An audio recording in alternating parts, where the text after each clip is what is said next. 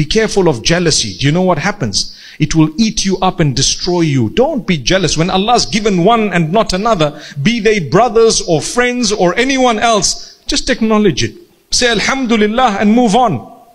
Make a dua for them and a dua for yourself as well. Oh Allah, you've blessed them. MashaAllah, tabarakallah. Oh Allah, bless me too. That's how it should be. Whether it's your brother or your uncle or whoever else or a friend or someone you don't even know. Pray for them. Don't be jealous. When we get jealous, it, a hatred gets in the heart. It starts building just like the devil. The devil was jealous because Allah said, I raised Adam above you. So he became jealous.